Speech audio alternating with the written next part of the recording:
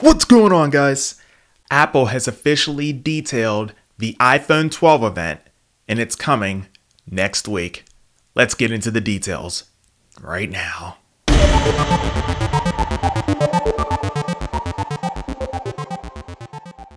Alright guys, so the iPhone 12 details are slated to be released here on October 13th, next Tuesday. Apple went ahead and set out the invitations as you can see pictured here, high speed.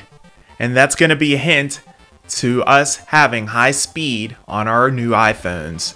It looks like they're going to be pushing 5G on these next iPhones whenever they get announced next week and more details are revealed. Stay tuned to the weekly wrap up as I will have complete analysis as well as details that were unveiled during the iPhone event next Tuesday, October 13th. I fully expect Apple to go ahead and announce the iPhone 12 with improved camera optics, front and back, with new camera sensors, image stabilization, as well as better augmented reality to help out for image capturing.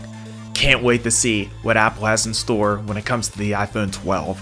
That's it for now, just a little quick video to let you guys know when you can expect to hear about the iPhone 12. Keep it locked right here on the weekly wrap up for further details once they are released from Apple. Until next time, and as always, peace.